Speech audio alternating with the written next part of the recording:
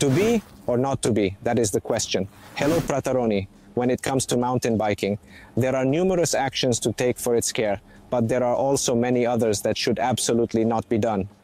Let's check. Don't wash bike upside down, water could end up where it shouldn't, especially in engine and battery compartment. There would be pains, be careful. Do not work on the upside down bike, especially the transmission. Be careful. Transmission. When replacing the chain, avoid mounting it on a worn cassette or old chain ring. Otherwise, you will wear out the chain and the rest of the components very quickly.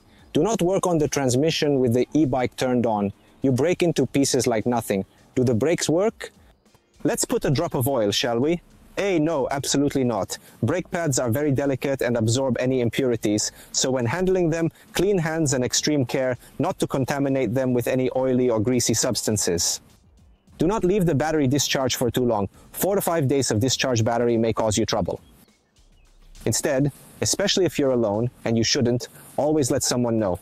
Leave a precise note of where you're starting from, your approximate route, and the estimated time of return.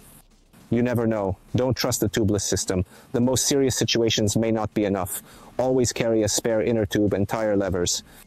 Do not start your ride directly in turbo mode. Start by warming up slowly and keep in mind that if you start the turbo right away, your battery will run out very quickly. Error message? Do not ignore it. It could be something serious.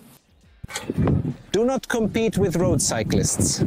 Do not underestimate the importance of having some tools with you for emergency bike repairs. A handlebar can always twist, a lever can loosen, or any other part of life that can create a problem. Always carry a minimum kit with you.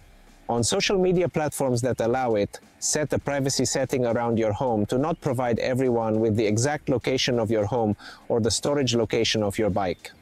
Here also it's best to challenge. Well, little brothers, did you enjoy this video? Of course you did, I know. So first, like and subscribe to support us and receive future updates.